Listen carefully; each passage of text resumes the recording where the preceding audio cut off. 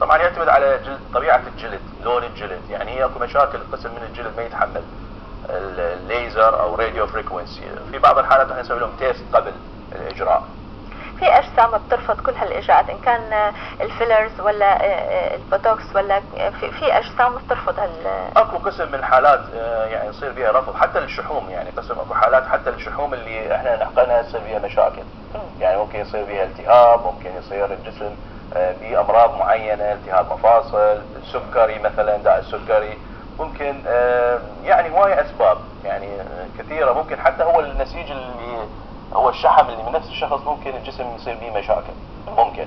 بس هي يعني كل شيء به حل. يعني يعني مو يعني لازم يتابع الطبيب ياخذ علاجات يستمر ويا الطبيب. حتى يعني يتجنب المضاعفات.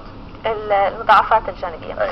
أه ما بعرف دكتور نحن إذا في أي نصيحة بتوجهها لأي سيدة قبل اللجوء إلى الإجراءات التجميلية شو ممكن تنصحها؟ بأي عمر لازم توجه؟ حضرتك قلت إنه تعتمد على البشرة وتعتمد على إمتى أنا لازم أتوجه؟ يعني أحيانا في سيدات بيروحوا ما بحاجب إمتى أنا لازم أتوجه لعند الطبيب وأعمل هالعمليات أو أبدأ بهالإجراءات؟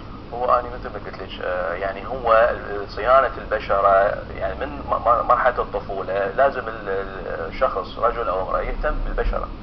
الصيانة تبدي من أي أي بشرة. ممكن يعني مو شرط إجراءات أوبر أو ليزر إجراءات بسيطة. ممكن يأخذ تقشير خفيف أو أحماض فواكه بالبيت ممكن يسويها.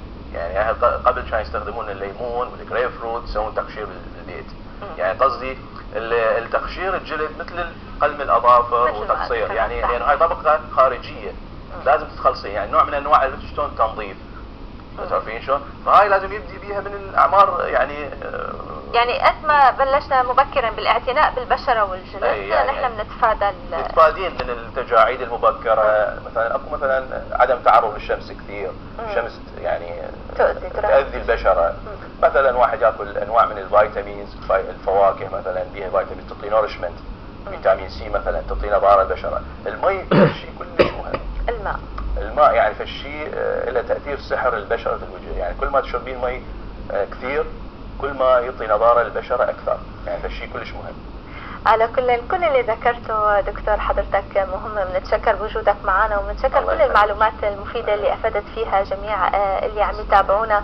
بنتشكر الدكتور كمال صالح أخصائي جراحة التجميل والتكميل والليزر. أهلا وسهلا فيك في برنامج صباح الدوحة. أهلا دكتور.